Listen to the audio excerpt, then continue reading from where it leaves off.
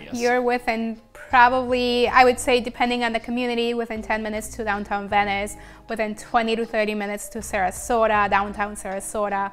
Siesta Key, probably 20 minutes, which is an amazing beach. And again, you are close to all the beaches in Venice. Also, probably within 10 minutes to 75, maybe even less. Yeah, if you're- less. Yeah, Yeah.